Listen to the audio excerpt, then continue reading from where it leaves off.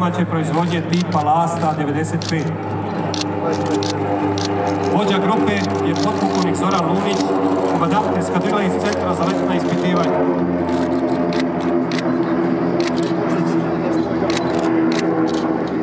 Avion Lasta 95 namenjen je za izvođenje obuke u osnovnom, figurnom, navigacionom, instrumentalnom i noćnom letenju.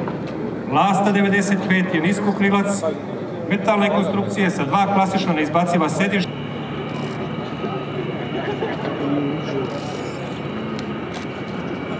A, idemo s letanjem. Svih pet komada, šest komada.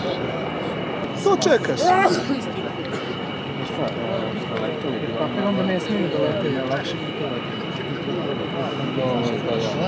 Tako nam vidi s njim.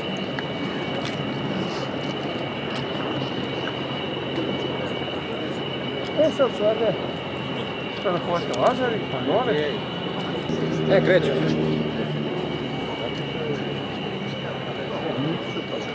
Oni će sa, ajmo, oni će sa ove piste odakle su, po, ovaj, gde su sveteovi.